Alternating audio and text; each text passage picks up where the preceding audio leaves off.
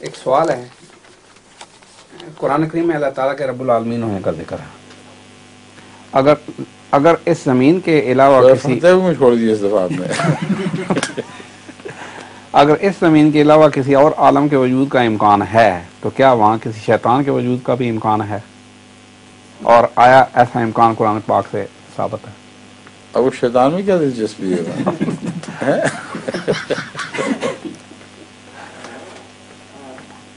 شیطان ہے کیا چیز؟ جیسے قرآن پاک میں ذکر ہے کہ شیطان بھی شیطان پر ایمان لانا ضروری ہے؟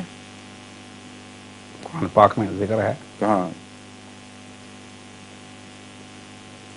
آمنا باللہ و ملائکتہ و کتبہ و رسلی شیطان پر ایمان لانے کا تو کہیں ذکر یعنی یومن بالجبت و تاغوت تو آتا ہے۔ برائی کے معنوں میں۔ تو وہ ایمان جو انسان کے لیے لازم ہے اور اس کے لیے اس کے بغیر اس کی بقا نہیں، اس میں اللہ، فرشتے، کتب، انبیاء اور یوم آخرت۔ شیطان تو کہیں نہیں ہے اس میں۔ بلکہ جو شیطان پر ایمان لاتے ہیں، ان کا نفرت کے ساتھ ذکر ہے۔ ان کو رد کیا گیا ہے۔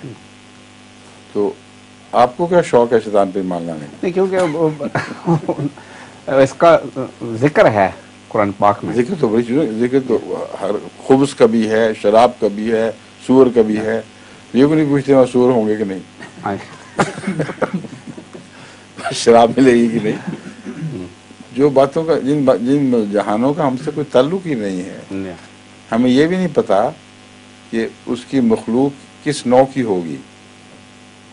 ٹن کی کمپیوٹرائز مخلوق ہوگی یا اس قسم کے مادے کی ہوگی یا روحانی وجود ہی صرف ہوں گے بے شمار امکانات ہیں جن کی تفاصیل میں جانے کی ضرورت نہیں یہ ایمان لانا لازم ہے کہ رب العالمین بس اتنا ہی کافی ہے۔